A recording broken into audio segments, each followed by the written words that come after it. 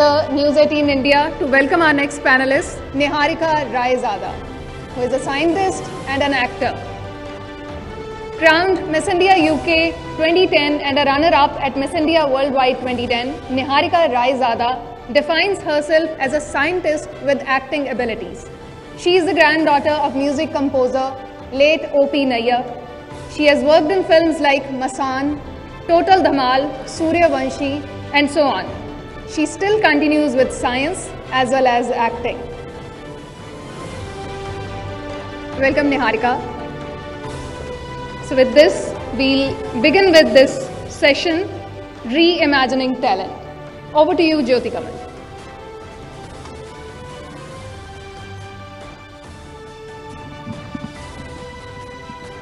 Thank you so much, Archie.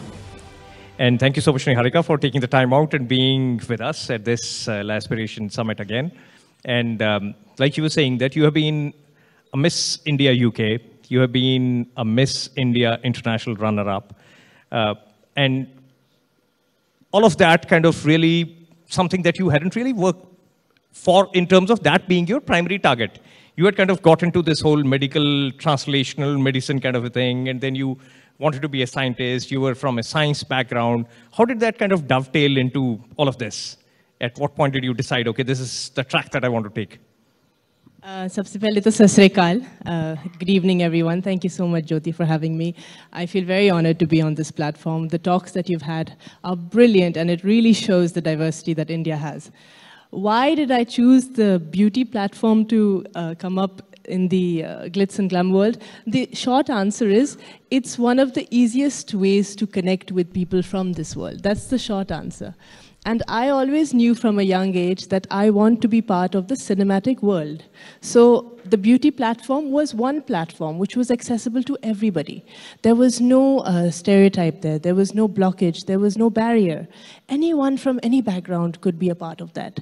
And at the same time, if you got recognized on that platform, you would be considered, you know, by potential people who might do cinema. And my target has kind of always been cinema. Why have I pursued academics? Because I truly believe that one has to mentally challenge themselves. And I think that uh, despite having your artistic flair, you must have a very strong academic background. And it is my family's principle, it is our culture that we must educate ourselves. And I chose science and I chose medicine. And in my family, there are many people who have had cardiac ailments. So I wanted to specialize in cardiology. So I've had two passions in my life, cinema and cardiology, and I've been very clear about that from the beginning, from a very young age. The beauty pageants was an easy way to at least get a foot in the door and connect with that world. That was the only reason that I chose that platform.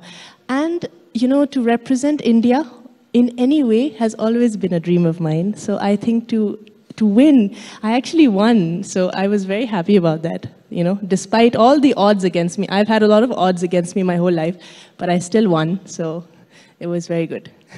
You started in Luxembourg, and uh, you've seen the best of both worlds. You have kind of seen how education is in the West. You kind of acted in a Western production, which was Coyotes, uh, and uh, thereafter you have kind of obviously worked in India quite a bit how do you kind of compare what it was like in the West and what it's like here? And the very fact that you've also been a Fulbright scholar. So, so you, you have been really kind of taking academics, learning to a certain level. You've been exposed to kind of education in the West, and now you are here in India. How do you kind of see you're bringing all that experience and exposure to India? Has it enriched you? Did India kind of help you in terms of your education there? How do you kind of now bridge these uh, Western and Indian influences? So first of all, I must tell you, I have built my life the way I wanted to build my life. From a very young age, I was very clear that India was going to be my final destination because I, you may, you know, question where these thoughts came into my mind, but I truly saw India as a diamond, you know, for the future. I thought that India is going to prosper in every way possible. So India was always my final destination. By fluke of how my parents landed up in Luxembourg, my father worked for the European Commission. Luxembourg is one of the headquarters of the European Commission. And we were born there. We are three children. And we are very fortunate and it's a privilege to be born in Luxembourg. It's a very small country, very rich country, and you know, there's so much to learn from there. But belonging to an Indian family, I have a very uh, strict father and a very Indian father. My father is from UP and my mother is from Rajasthan. And I think growing up, we have always had a very Indian uh, upbringing, despite being in Europe. And I've always missed my grandparents. I never got a chance much to stay with them because we were always abroad.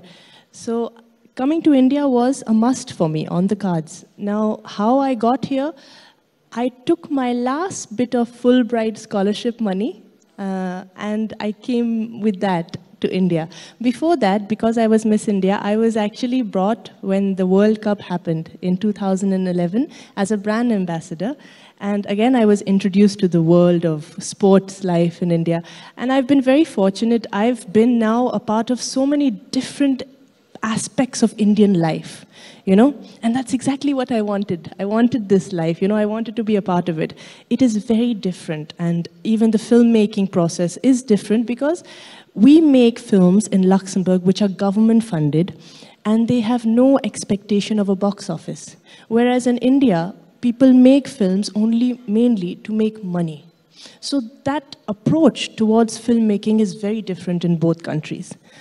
Uh, apart from that, I think that the process is the same. I think when you go on set, when you, I've done, like you said, I've done this French uh, web series show called Coyote, and it's the same process. You go on set, camera rolls, action happens, and then the actor performs. So that's not different.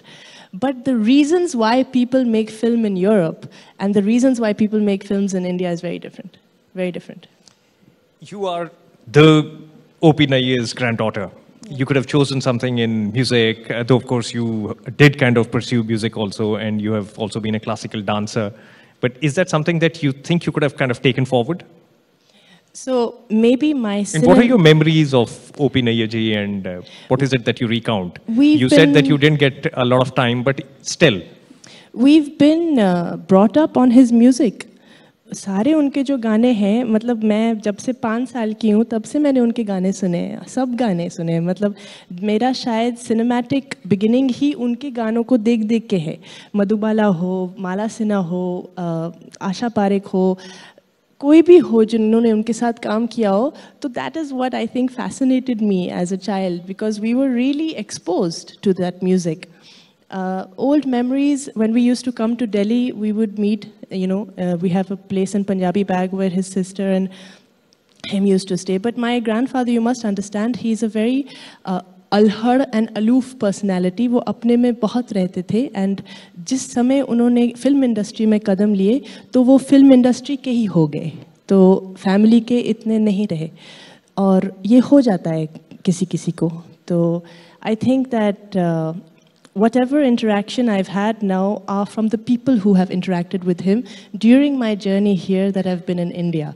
मैं कितने सारे लोगों से मिली हूँ जिन्होंने उनके साथ उनका आखिरी जो 20 साल था उन्होंने थाने में स्पेंड किया है जो अ, महाराष्ट्र में है तो वो लोग जो उनके साथ उस समय में रहे I have had discussions with them जो हमारे कुछ फैमिली मेंबर्स हैं जो ज़्यादा नहीं बोलते लेकिन फिर भी उनके साथ जो इंटरेक्शन है और फिर उनका संगीत मैं हमेशा यही कहती हूँ an artist's vision is visible in their art you know and if you listen to his music and you listen to the way he composed he was very ahead of his time so i think that you can see a lot in, of a person in their art When you were in Luxembourg and when you had gone abroad, you were very clear that you're going to get back to India because you think it's a diamond that has a lot of potential yes. for the future. Now that you're back here, what's your take on India today and India in the future going forward from where we currently are? Do you kind of stick by what you thought or do you want to have a second take on that? So I have seen the journey starting from Anna Hazare to Modi ji, and I have uh, seen a lot of growth. I have seen a lot of growth, no doubt. Uh, I am from the medical and uh, healthcare industry to begin with. That is my underpinning and that is my beginning. So I would definitely like to say there are many aspects of India where still there's a lot of development and, you know, especially in the healthcare industry. जब मैं भी आई थी तो I would always talk about you know research combined with medical uh, applicability. दोनों साथ में होने चाहिए यहाँ पे इतना R&D नहीं होता तो I used to talk about that और बहुत सारे एस्पेक्ट्स हैं जिसमें बहुत ग्रोथ हुआ है India overall infrastructurally has developed a lot it is going to develop even further I am very proud the way it is growing and i believe that my hypothesis of it being one of the most uh, incredible countries in the years to come is going to come true you know you are like multi-talented you have really kind of uh, spanned so many different kinds of uh, experiences. You have studied abroad. You have been in Luxembourg. Luxembourg is one of the richest cities in the countries in the world. Mm. And when you look at Luxembourg and the theme that we are kind of also exploring here, which is aspiration, the aspirate, the aspiration side of life, the ambitious side of life, luxury. When you see what you saw in Luxembourg, and now when you see kind of uh, a lot of demand in India, because when you look at Punjabi music, uh, you see a lot of references to Lamborghinis and uh, Gucci, Gucci's Prada. and Pradas and right, everything. Right. So when you kind of hear all of that, uh, what do you what do you make of it? Because you've seen it, you've lived it, you kind of can look back at it, look you can look forward at it, whatever. So, what do you make of all of this? What what stage are we at? तो जब जब हम लोगों को हिंदुस्तान वापस लाया जाता था तो हम लोग दिल्ली में ही रहते थे। तो दिल्ली का जो चलन है ना इन जनरल वो काफ़ी hi fi and brand conscious ही रहा है हमेशा। So that is something which has been seen and I have seen it a lot you know in the past वो बड़ा है। That has become more and uh, as you said, songs are mentioning it. There are so many more references now to luxury brands. But I think what is the most important and what really hits home and what hits at an international level is the fact that Indian faces are now headlining and spearheading these brands. You have Alia Bhatt, who is the face of Gucci. You have a Deepika Padukone, who is the face of Tag Heuer. You have Shah Rukh Khan. You have so many people now who are, you have uh, Manushi Chhillar, who is the face of Estee Lauder. I want to be the face of Dior because that's my French background, you know, and that's my manifestation. One day I want to do that because it's my mother tongue and, you know, I have that Indian background. It is my dream, you know, for example. But if that happens, before it was not allowed. Before an Indian face could not be the face of an international brand. But today you see a change in that.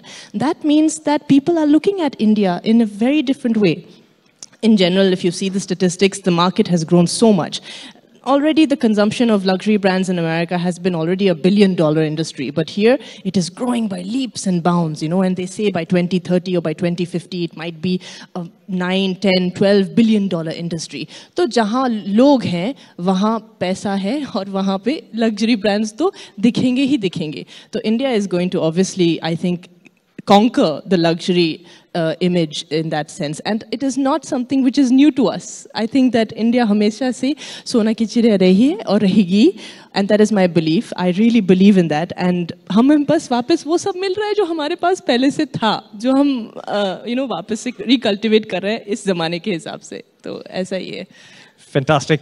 Niharika, we can't let you go without uh, your uh, kind of multi-talented skills and multilingual skills actually and being OP Nayyarji's granddaughter, all of that, you know where we are going. So you can kind of uh, really put it all together and then sing something and uh, then kind of translate it into different languages and let's see how it goes. मैं गाना तो नहीं गा पाऊँगी, मेरी अभी तबीयत इतनी अच्छी नहीं है, लेकिन एक बहुत मशहूर गाना है, मेरे सनम का 1965 फ़िल्म का, बिस्वजीत और आशा पारे का उस उस गाने का नाम है, जाइए आप कहाँ जाएँगे तो इस इस लाइन को, जाइए आप कहाँ जाएँगे, ये नज़र लौट के फिर आएगी अगर मैं अलग अलग भाषा में बोलूँ तो तो फ्रेंच में बोलेंगे, Où Votre regard reviendra encore. That's in French. German में Wo gehst du? Wird dieser Blick wieder zurückkehren? In English, where are you going? This gaze will return once more. In Spanish, ¿Dónde irás? Esta mirada volverá de nuevo. And मेरे Luxembourg की भाषा में Wo geht dir? Uh, das Block gibt uh, so that's but, but, that's but like all the languages. You've got to set it to music now. I have to sing it. Yes. No, absolutely. all of them in all those of them. languages. नहीं मैं वैसे गा लूँगी. Let's see how it goes. I'll, I'll sing just the Hindi version because वो French वाला बैठेगा नहीं उसके. Let's let's try it. Let's see. I'll I'll sing the Hindi version. All right. Okay. जाइए आप कहाँ जाएँगे ये नज़र लौट के फिर आएगी ये नज़र लौट के फिर आएगी Thank you. Fantastic. Thank you want to try that in French and in German? Try, Oh try my. one. Let's see how it goes. Oh, how can you put it? Okay. Okay, let's let's try. Oh. Où irez-vous Ce regard reviendra encore. But it not, I, can't do more than that. All right.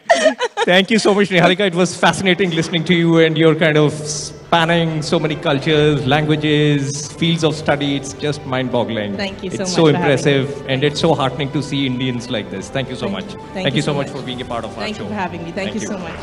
Thank you, Niharica. Thank you, Jyoti Kamalji. Please stay on the stage. Now I'll request Jyoti Kamalji to felicitate our panelist, Niharica Raizada.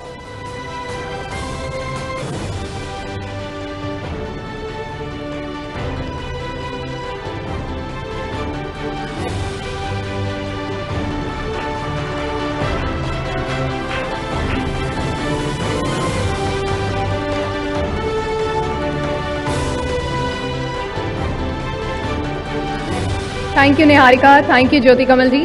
With this, the discussions conclude, and I'll now request